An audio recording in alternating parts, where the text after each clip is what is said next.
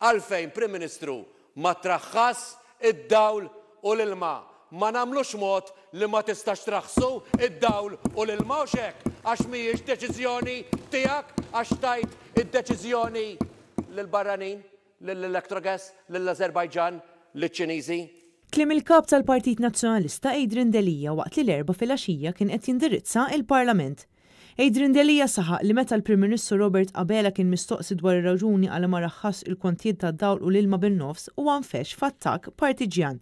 Il-Kap tal-Partit Nazzjonalista saħaq li f'din is-sitwazzjoni li qed ngħixu fiha huwa importanti li nħarsu lejn dak li nistgħu nagħmlu llum biex naraw kif nistgħu nagħtu l-aħjar lill-Maltin u l-Għawdxin.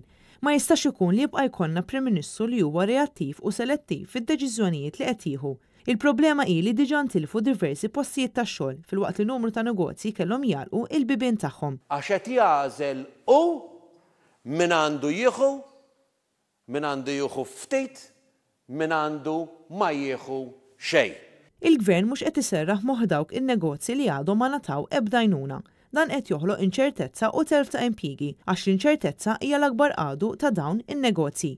Adrian Delia sostna li dak li ġara fis-settur tas-saħħa huwa immoralità għax qed inħallsu prezz qares fis-saħħa tal-Maltin u l-Għawdxin kollha. Ħafer il-garanziji li kellhom jagħmlu n-negozji biex jaċċertaw illi s-settur tas-saħħa f'pajjiżna jkun protett u llum qed inbatu l-konsegwenzi u llum qed inħallsu l-prezz Ta' xi ħaġa li mhix biss korruzzjoni, ta', imma llum hija immoralità!